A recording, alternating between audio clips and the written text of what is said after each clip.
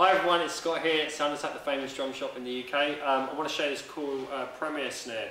Um, finally, Premier doing some British stuff again. Um, about time, I think, personally. But uh, yeah, this is a really cool snare. This is called the uh, Spitfire. This is part of the Aviation series. Uh, it's a 14 by 6 and a quarter inch. So you know a bit different there, um, and it's all English. Everything is British on this. This is uh, 20 plies of uh, Georgian oak um, and it's uh, just got a satin finish on it. Um, all the lugs are British made. Yeah, it's a cracking snare. We played around with the tuning a bit and it, it goes up and down quite well. It's a thick shell, so you know, even though it's cranked up quite tight, you know, it, it, it sounds quite, um, still sounds old school Premier as well. So they've managed to keep that sort of old traditional tone on their drums, which you'll hear.